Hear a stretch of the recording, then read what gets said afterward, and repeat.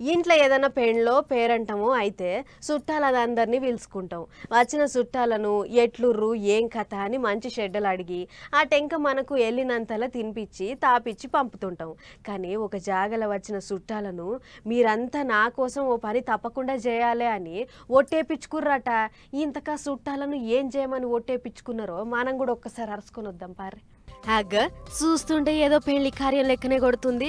వచ్చిన చుట్టాలేమో చేతులు ముంగటికి చాపి గదేదో మంత్రాలు చదువుతుర్రింది అని అనుకుంటుర్రా? వాళ్ళు మంత్రాలు చదువుతలేరు మాట ఇస్తున్నారు. ఇక అసలు ముచ్చట ఏందయ్యా అనంటే గుజరాత్ రాష్ట్రంలో ఉన్న వడోదర అనే పట్టణంలా ఓ పెళ్ళి కార్యం అయ్యింది.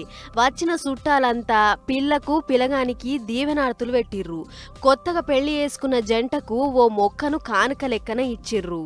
అంత బానే ఉంది గాని వచ్చిన చుట్టాలను నిలవడమని చెప్పి ఒట్టేపించుకుర్రు గట్లెందుకనంటే దేశం అంతటా ఎన్నికలు అవుతున్నాయి కదా గా ఎన్నికలల్లా ఎవ్వలిగిన తప్రీద్ పోకుండా ఓట్లేస్తామని మాట ఇయ్యుర్రి అని గిట్ల చేతులు ముంగటికి సాపిచ్చి ఆరు నూరైనా నూరు నూట ఇరవై అయినా యాది మరవకుండా ఓటేస్తామని అనిపించిర్రు చూస్తుంటే చిన్నప్పుడు బళ్ళె ప్రతిజ్ఞ చేసినట్లుంది కదా వచ్చిన వాళ్ళందరితోని గిదే నమూనాలో ఓట్లేస్తామని చెప్పించిర్రు మొత్తానికి అందరూ ఓటెయ్యుర్రి అని చెప్పాలని చూసిన వాళ్ళ ఇగరం అయితే బాగానే ఉంది.